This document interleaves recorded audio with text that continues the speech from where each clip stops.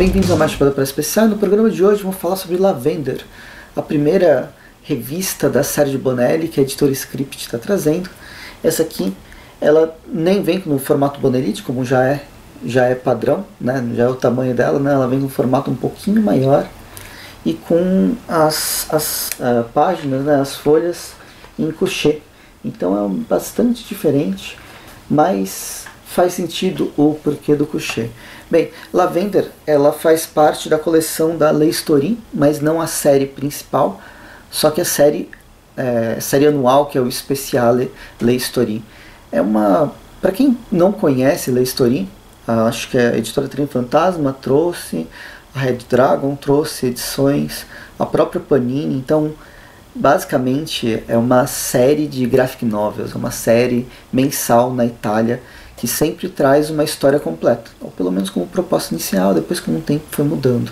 Ela teve 100 números publicados entre 2012 e 2020, mais ou menos, quando a Lei Story começou a publicar histórias, bem, histórias clássicas, é a Lei Story Classic, que começou agora, não sei se não está vendendo muito bem na Itália, mas enfim, são histórias muito legais, tudo que foi publicado até agora ela é bem, bem interessante porque permite os autores trabalharem outros personagens, outros cenários, outros gêneros narrativos. É uma coisa bastante. é um selo quase que autoral de cada autor que vai se meter a fazer uma lei story. As especiali, elas vêm de, no formato anual, né, de ano em ano.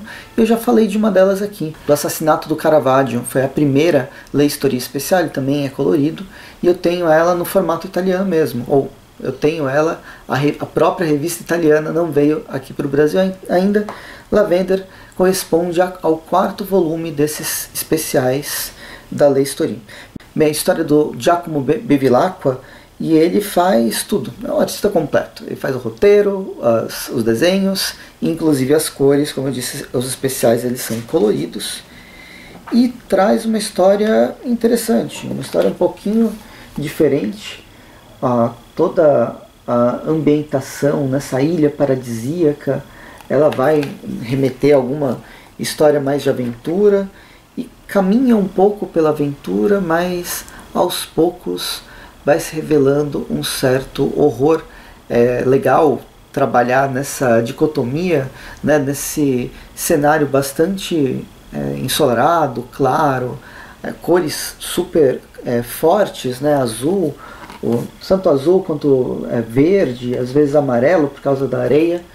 Só que a história ela é mais ela é mais é, sanguinária do que a gente pode esperar. Eu gosto também desse tipo de arte, desse tipo de desenho, que até na própria capa dá para perceber, ele tem um cuidado de fazer essa, esse efeito de ilusão de ótica quando mostra os personagens com o pé na água, ou metade na água, metade para fora.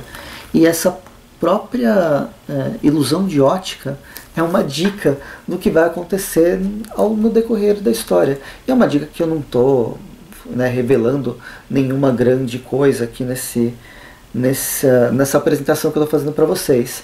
Porque é uma história de horror, um casal vai para essa ilha paradisíaca ficar alguns dias, né, foi uma agência de turismo que o namorado da, da garota arranjou, só que ao chegar lá, ou pelo menos alguns dias depois que eles chegam lá, eles começam a ter contatos meio estranhos.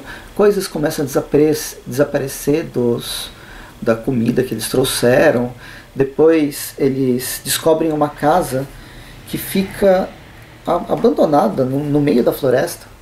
Não era para ter essa casa aqui, a gente nem sabe direito o que que. Isso aqui não vai ser explicado o que, que é essa casa mas aí com o tempo outros personagens aparecem como pessoas que estavam do outro lado da praia, dois bandidos que provavelmente fizeram alguma coisa, deixa bem claro a, a, a, a participação deles, né, no, o tipo de encontro que eles têm, tanto esteticamente quanto as, as coisas que eles falam, a forma como eles são apresentados, tudo leva, leva a crer que eles são eles não são pessoas muito agradáveis de se encontrar. Só que não termina aqui. Aqui a gente está na página 80, é 69 de 140. Ou seja, não são esses os grandes vilões da história.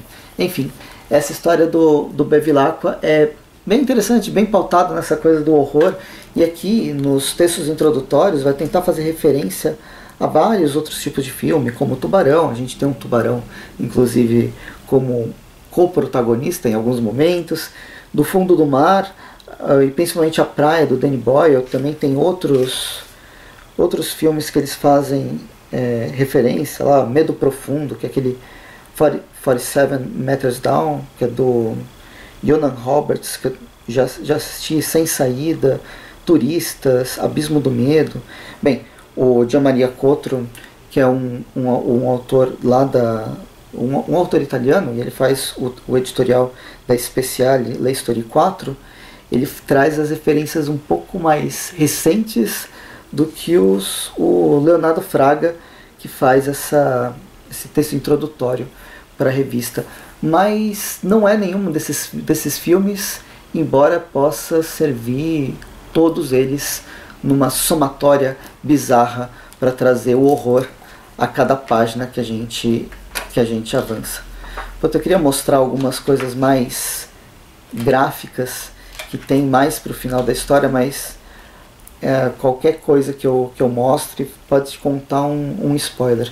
Bem, olhem aqui essa cena bastante impactante da garota descobrindo alguma coisa muito estranha, né? Outras pessoas já morreram nessa ilha. Isso aqui é só para dar um gostinho do que pode acontecer ao longo da história. Enfim, vocês já estão percebendo que eu estou fugindo completamente do de tentar explorar melhor Lavender. E Lavender é isso. Ela é uma história simples de horror de duas pessoas que se deparam numa situação impossível, precisam tentar sobreviver, mas os perigos vão se somando, somando e eles não podem, não têm o que fazer. Além disso, tem uma fábula, né, uma, um conto infantil bastante conhecido, vai caminhando em paralelo até se revelar nas páginas finais, né, ter bastante claro nas páginas finais o que, que é isso, e olhando em retrocesso, os próprios textos no final do, do, do volume vão dar essa indicação que olhando em retrocesso, todos aqueles elementos dessa história infantil já estão na história, mas você só percebe numa releitura. Enfim, esse é Lavanda do Giacomo Bevilacqua e espero que vocês tenham gostado do vídeo. Comentem se vocês gostaram dessa primeira publicação da editora Script, que eles trouxeram mais coisas da Sérgio Bonelli. Atualmente tem uma história dos é uma história do Apocalipse, acho que é uma adaptação do Apocalipse. Teve uma outra do Lei Story, mas da, da série normal de Lei Story sobre zumbis, que é Mundo Z, alguma coisa assim. Enfim, são outras histórias que eles, que eles publicaram. Lembrando que a Script tinha uma das linhas editoriais, são histórias de horror. Eles trabalharam muito com Lovecraft. E agora, quando eles começam com as histórias da, da Sérgio Bonelli, eles escolheram justamente diferentes facetas do horror. Enfim, vou ficando por aqui, comente, a gente conversa comentários, curta o vídeo, assina o canal, me siga no Instagram, na arroba Pressogalho, eu falo sobre filmes e séries todos os dias com resenhas novas, e também tem o Fortaleza Quântica, que é o podcast onde eu, amigos meus, a gente fala sobre filmes, séries, quadrinhos, faz entrevistas, faz listas, enfim, episódios atemporais que vocês podem ouvir a qualquer momento, qualquer um deles, os mais antigos, os mais novos, sempre tem uma recomendação legal, de filmes, séries, quadrinhos e tudo isso que eu falei para vocês. Procure no Anchorage, no Spotify ou qualquer outro agregador de áudio e tem o link da Amazon. Qualquer compra no link da Amazon também ajuda muito o canal. Lavender também é possível encontrar pela Amazon e a gente se vê no próximo episódio. Até mais e bons quadrinhos.